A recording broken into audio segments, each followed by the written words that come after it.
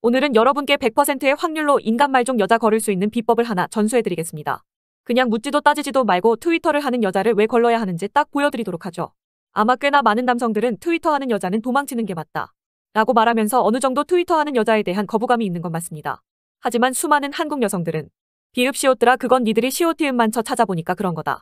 트위터는 오타쿠 SNS인데 뭔 소리냐라고 말하면서 여초 SNS이고 여자가 트위터 하는 건 거의 덕질용이라고 말하는 우리 한국 여성들.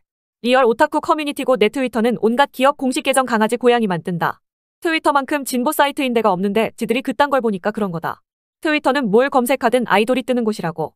트위터에서 정치 경제 사회 이슈 보는데 뭔 소리 하냐. 트위터에서 그딴 거 하는 사람은 다 남자다. COT 좀 그만 검색해 한남들아.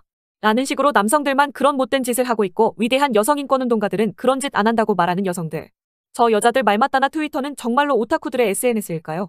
20대 여성들이 가장 많이 사용한다는 트위터의 진실 여러분께 보여드리겠습니다.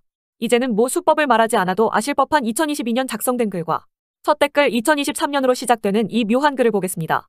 이 글은 정말 놀랍게도 트위터에서 SM을 하는 여성들이 모인 게시판이죠. 그녀들은 SM을 위한 정보를 기괴한 언어로 공유하고 있었으며 이번에 구인한 노예 너무 맛도리다 관계는 2주 정도 뒤에 하기로 했고 피지컬 쩌는데 성격은 소심해서 갭 차이에 돌아버리겠음. SM 고인은 트위터가 최고야 라고 말하는 이 여성.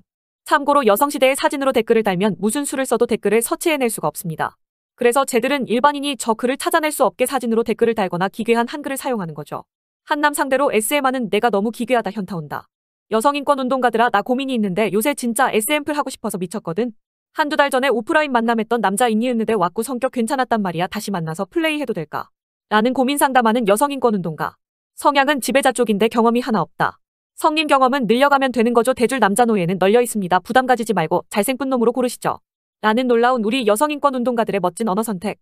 배변 패드에 쉬해본 여성인권 운동가 노예플 선호녀 있어? 라는 식으로 관계를 즐기는 인권 운동가.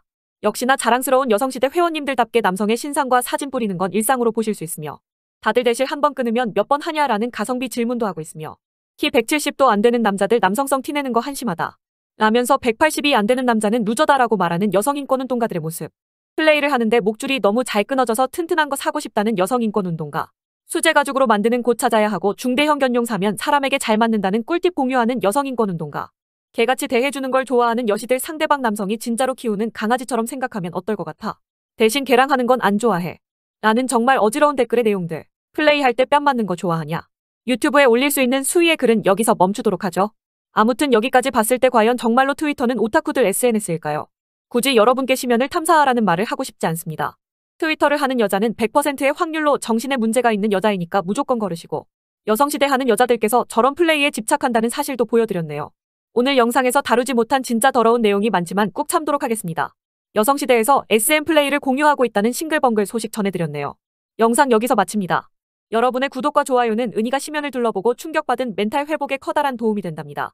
오늘의 한 줄 요약. 그저 어지럽다 여성시대.